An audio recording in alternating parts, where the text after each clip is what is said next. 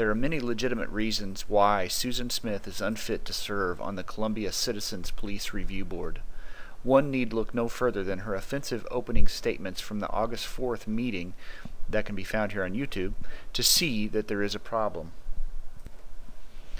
Another obvious justification for her removal was made clear by Eapen Thampy during the August 11th meeting when he asked how many CPD officers are her former students and if this creates a conflict of interest.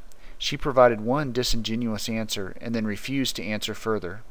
Her refusal to be open and honest is a direct violation of the NACOLE Code of Ethics. The video of this interaction can also be found here on YouTube.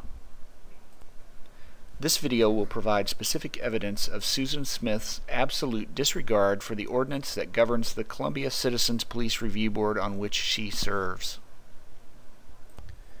Before we begin, let's take a look at an important part of the ordinance.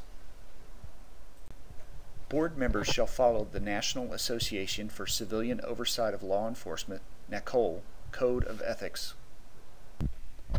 According to the NACOLE Code of Ethics, the CPRB should pursue open, candid, and non-defensive dialogue with stakeholders. More specifically, according to the city ordinance, the board shall provide an opportunity for public comment at each monthly meeting. Pay attention to Ms. Smith as she tries to deny public comment. Okay, the board needs to decide if you're going to unanimously decide to have public comment. Do you want everybody to have 10 minutes, or do you want five minutes, three minutes? How would you like to handle it? Well, I would like to suggest, and it's just a suggestion, I mean, he is the complainant, and we have one other official complainant in the room.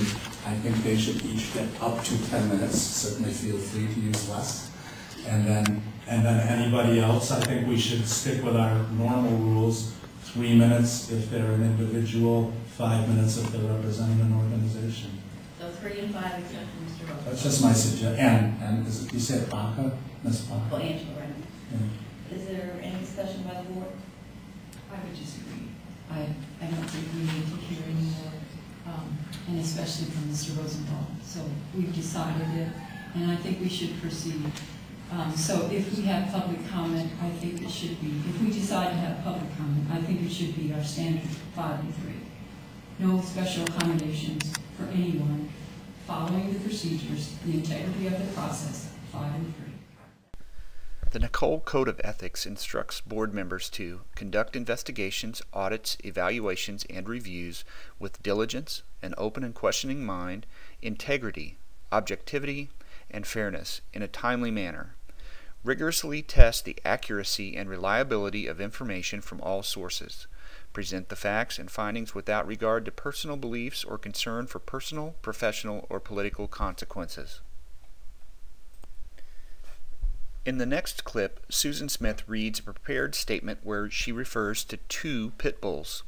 It is important to note that one officer's report did mistakenly mention two pit bulls, but the rest of the SWAT officers and all of the media reported the presence of one pit bull and one corgi. The homeowner also had two pit bulls. These, um, these animals have been known to be used as a first line of defense for those involved in the distribution of drugs.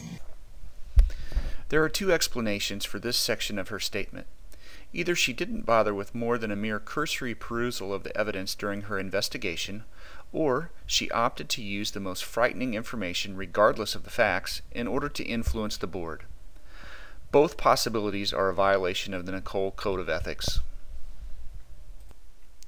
In the next and final clip, Susan Smith makes reference to the evidence contained in the affidavit for the search warrant. Has caused many to be distracted from the series of facts and evidence that told a different story. The facts and evidence that we saw from the video, from everything that was given to us, a search warrant based on reliable statements was issued. The only evidence in the affidavit were two statements from paid confidential informants and a baggie with marijuana residue obtained in a trash pull. The statement from one confidential informant was over a year old. Confidential informants are always criminals seeking lighter sentences in exchange for information. The trash pull only provided evidence of marijuana use. Again, Susan Smith bends the truth to serve her own agenda. Please write to both the CPRB and the City Council and ask that Susan Smith be removed from the board.